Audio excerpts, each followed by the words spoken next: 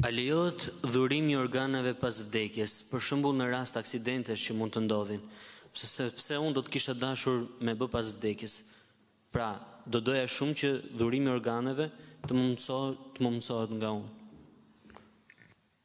Lejohet, pasi kjo është një çështje për cilën ka diskutim, lejohet në mendimin më të saktë të dijetarëve, po me kushtet e ditura. Kushtet cilat janë? Nuk duhet të jetë organ riprodhues, ky organ që jepet, ose organ memorizues. E nëse nuk ka këto dy gjëra, atëherë nuk ka asnjë lloj problemi në mendimin më të saktë të dijetarëve.